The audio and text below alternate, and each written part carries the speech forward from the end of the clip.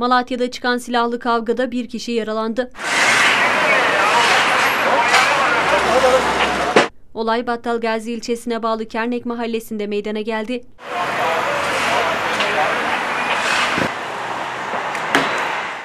Şehit Hamit Fendoğlu Caddesi üzerinde bulunan bir apartmanın zemin katında meydana gelen olayda arkadaş oldukları ileri sürülen Meyye ile AA arasında yaşanan tartışma sonrası açılan ateşte AA sağ ayak parmaklarına isabet aldı.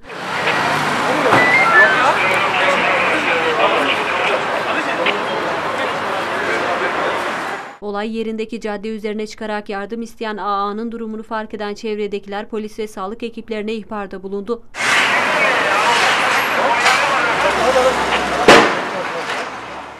Yaralı şahıs olay yerine gelen sağlık ekiplerince Malatya Turgut Özal Üniversitesi Eğitim ve Araştırma Hastanesi'ne kaldırıldı.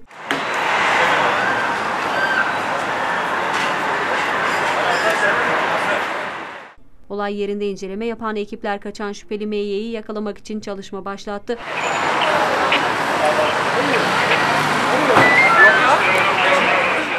Olayla ilgili başlatılan inceleme sürüyor.